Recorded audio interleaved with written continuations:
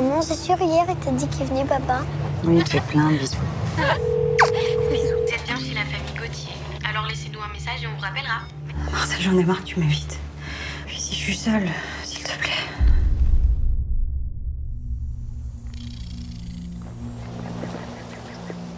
Marie Quoi? Vous êtes perdu? Je peux vous conduire si vous voulez.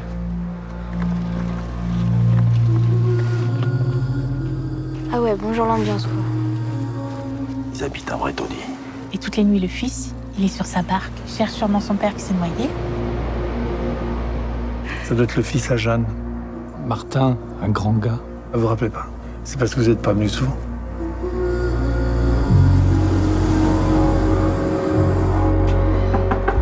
Je dérange Vous cherchez quelque chose?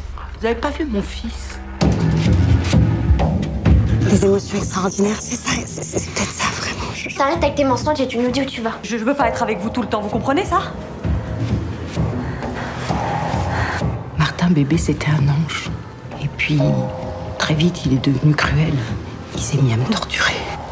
Je t'aime. Martin, tu me connais pas.